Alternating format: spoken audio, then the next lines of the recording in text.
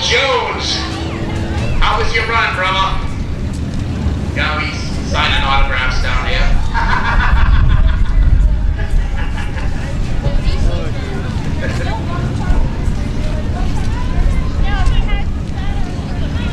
It looks like we're getting ourselves ready to go.